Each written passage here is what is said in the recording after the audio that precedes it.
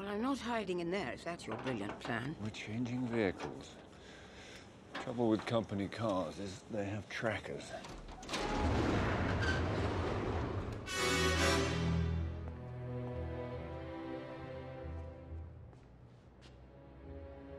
And I suppose that's completely inconspicuous.